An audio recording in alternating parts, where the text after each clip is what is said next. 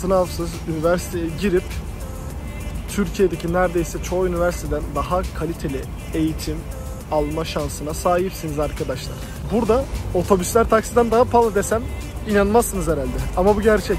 Alkol fiyatları çok ucuz. Alkol içenler burada yaşadı arkadaşlar yani o şekilde söyleyebilirim. Türkiye'deki 150 bin TL'lik bir araba burada 70-80 milyar.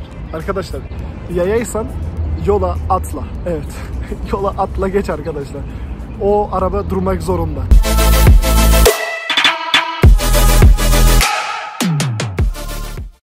Herkese selam arkadaşlar. Bu videoda Rusya'da yaşamanın pozitif yönlerinden, artılarından size bahsedeceğim elimden geldiğince. Nedir bu artılar? Fiyatlar olsun arkadaşlar. Daha sonra yaşam şartları olsun, kurallar olsun. Bunlardan elimden geldiğince bahsetmeye çalışacağım. Negatif yönlerini de çekeceğim ama bu videoya sokmak istemedim. Çünkü çok uzun sürer, çok sıkıcı olur o yüzden. Dediğim gibi ilgi ve alaka gelirse negatif yönlerini de çekeceğim arkadaşlar.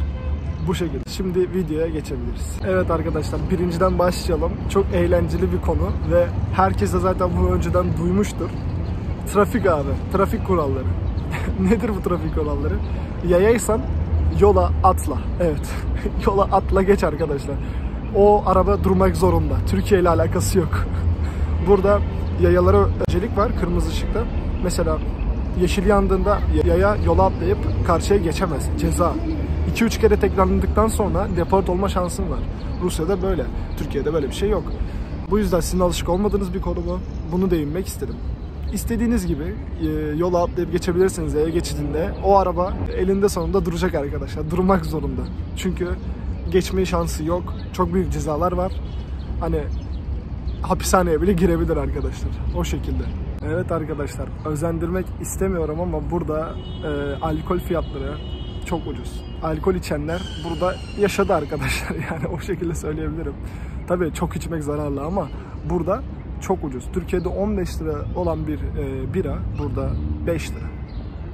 Viskilerde de aynı şekilde, vodkalarda da aynı şekilde. Hele vodkalar zaten inanılmaz ucuz arkadaşlar. Gözlerinize inanamayacaksınız yani. Buraya gelirseniz şahsen e, alkol konusunda hiç sıkıntı çekmezsiniz. Çok kullanan varsa, alkol kullanan varsa bunu da bu şekilde söylemek istedim. İnanılmaz ucuz. Bir diğer konu mimari. Rusya'nın mimarisi bence müthiş. Benim gibi mimariye önem veriyorsanız, çok hoşunuza gidiyorsa, gezmekten sıkılmıyorsanız, fotoğraf çekmeden sıkılmıyorsanız buraya gelmelisiniz arkadaşlar. Çünkü hiçbir ev neredeyse yıkılmamış eski Sovyet zamanlarından ve her biri sanat eseri gibi. Bu sadece binalar için geçerli değil arkadaşlar. Yemekhanelerde bile, tabloklu yemek satan yemekhanelerde bile bu böyle. Yani yemekhanede bile sanat eseri bir eve giriyorsunuz sanki. O his var içinizde. Ve çok müthiş bir his arkadaşlar. Çok hoşunuza gidiyor. İlk geldiğimde alışamamıştım dedim. Nereye giriyorum ben? Sanki müzeye giriyorum. Bir girdim yemekhane arkadaşlar. Çorba satıyor yani.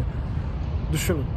Bu şekilde cidden mimariye hayran kalacaksınız. Bir diğer konu araba fiyatları arkadaşlar. Burada araba fiyatları çok ucuz. Teknolojik fiyatlar çok ucuz. Nedir bu teknolojik? Telefon olsun arkadaşlar, kamera olsun, e, mikrofon olsun. Böyle şeyler burada daha ucuz Türkiye'den. Neden ucuz? Çünkü vergi yok. Evet arkadaşlar, vergi var. Vergi var. Hiçbir yerde vergisiz bir şey yok. Ama burada daha ucuz. Türkiye'de dünyanın en çok vergisini ödediğimiz için yani o yüzden burada her şey daha ucuz. Mesela bir örnek verelim. Türkiye'deki 150 bin TL'lik bir araba burada 70-80 milyar. Arkadaşlar inanılmaz bir fiyat. Bu şekilde arkadaşlar. Yani teknolojik alışveriş yapmak istiyorsanız buradan yapabilirsiniz.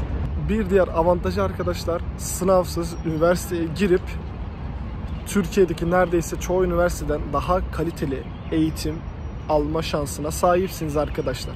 Ve Türkiye'deki özel okullardan daha ucuz bir fiyata Düşünebiliyor musunuz? Ne kadar ilginç geliyor. Ama bu gerçek. Ben bu şekilde geldim.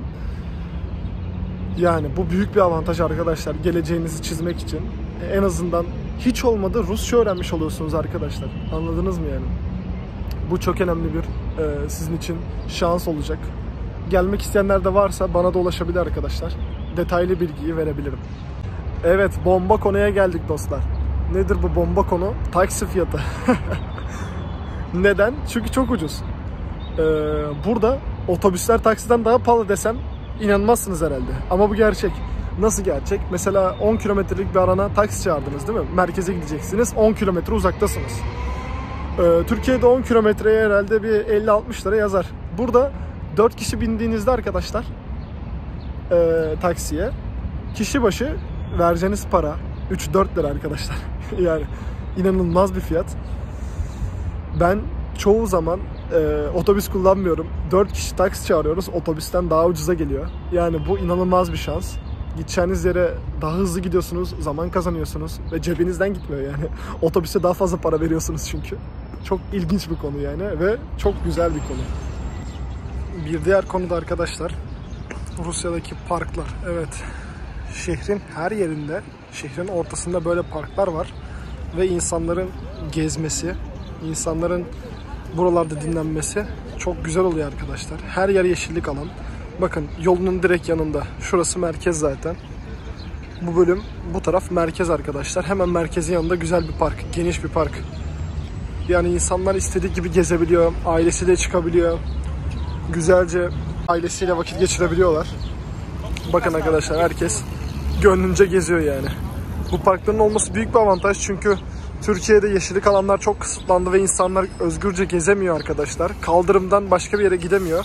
Ama buralarda her 100 metrede 200 metrede bir parklar var arkadaşlar böyle güzel bir şekilde. Bakar mısınız? Bir diğer konu özgürlük. Yani ya da kısıtlama. Çekim özgürlüğü mesela. İnsanlar kimse size bir şey demiyor. Kimse sorgulamıyor sizi arkadaşlar. Hani kamerayı elinde tutuyorsun diyelim. Kimse ne çekiyor bu? Kimsenin merakı yok. Rahatça özgürce istediğinizi söyleyebilirsiniz. İstediğinizi çekebilirsiniz. Yani kimse size neden çekiyorsun, neden bunu yapıyorsun diye sormuyor. Mesela saçın mavi, neden mavi abi? Hani neden mavi diye kimse sormuyor. Bu şekilde yani bu çok güzel bir şey aslında. Çünkü kafana göre takılıyorsun. Kulağını mı deldirdin? Deldir abi. Dışarıda bir şey diyecekler diye çekinmiyorsun yani. Burada kimse sormuyor çünkü onu sana. Burada tür tür insanlar var mesela. Çok değişik. Ben ilk defa gördüğüm insanlar var ama şehrin yerlileri bunlara artık bir şey demiyor. Yani sen neysen istediğin kişi oluyorsun arkadaşlar. Yani bu çok önemli. Kimseye bir şey ispatlamıyorsun. Kafana göre geziyorsun.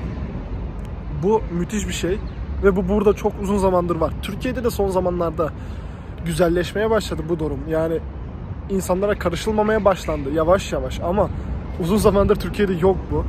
Bunu da değinmek istedim arkadaşlar. Bu da çok önemli bir konu. Şimdi bir önemli bir konu daha var arkadaşlar. Yine basit gibi görünen ama önemli. Nedir bu? Mesela izdiham abi. Herkes sırasını bekliyor abi burada. Mesela metroda. Şimdi Türkiye'de nasıl abi? Çıkarsın önden sıra kapmak için 3-5 durak önceden ayağa kalkarsın değil mi? Burada öyle bir şey yok. Yani saçmalığa bakar mısın abi? İzdiham oluyor ya. Metroda kapıdan çıkarken sıkışıyorsun. Böyle bir şey olabilir mi? Ama burada insanlar sırasını bekliyor. İlk önce metrodan çıkıyorlar çıkanlar. Sonra boşaldıktan sonra metro girenler giriyor arkadaşlar. Bu kural böyledir. Bu her yerde böyledir. Ama güzelim e, memleketimde bu böyle değil birazcık. Ve burada bunu gördüm. Bu müthiş bir şey. Son saniyede kalk ayağa. Herkes sırasını bekler. Sırayla çıkarsın. Sonra girenler girer. Yani aslında doğrusu bu. Ama uygulamadığımız için bilmiyoruz arkadaşlar. Uygulamadığımız için kendi ülkemizde bu bize ilginç geliyor. Buna da değinmek istedim. Bu da böyle. Çok güzel daha bir şey var arkadaşlar. O da mesela kafelere gidiyorsunuz. Dışarıdan yiyecek getiriyorsunuz evet. Orada pizza mesela. Pizzayı dışarıdan alıyorsunuz. Geliyorsunuz kafede pizzayı yiyorsunuz. Sadece oradan içecek alıyorsunuz mesela. Çok hoşuma giden bir konu bu. Aslında yanlış. Aslında yanlış da değil. Ee, ben çoğunlukla yapmıyorum ama yine de yapıyorum arkadaşlar. Neden? Çünkü daha ucuza geliyor. Bir de onlar da bir şey demiyor zaten. Yiyeceğinizi dışarıdan getirebilirsiniz diyorlar. Çok ilginç geldi bu konu bana. Aslında kötü bir şey. Hani Türkiye'de de bunun yapılmaması iyi bir şey. Çünkü esnafa saygıdır değil mi bu yani? İçeride aynısını yapıyorsan neden e, şey yapasın ki yani dışarıdan getiresin ki? Değil mi? Ama e, burada çoğu kafede abi dışarıdan kendin getiriyorsun. Bazen içeceğini bile kendin getiriyorsun dışarıdan. Orada sadece nasıl diyeyim nargile alırsın, nargile içersin ya da PlayStation oynarsın. Muhabbet edersin, bir içecek alırsın belki.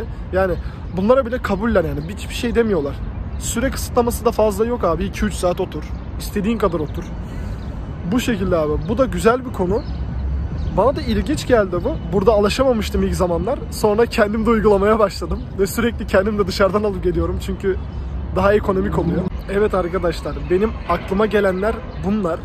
Eğer siz de Rusya'da yaşadıysanız ya da hala yaşıyorsanız ve daha aklınıza gelen farklı şeyler varsa bana yazabilirsiniz yorum olarak. Ben de bunları okumaktan zevk duyarım çünkü benim aklıma gelmeyen ne pozitif yönler var daha. Bence de vardır daha çok. Neyse arkadaşlar negatif yönleri de çekeceğim. İlgi ve alaka gelirse dediğim gibi. Kanalıma abone olmayı unutmayın. Like atmayı unutmayın. Diğer videolarda görüşmek üzere. Bay bay.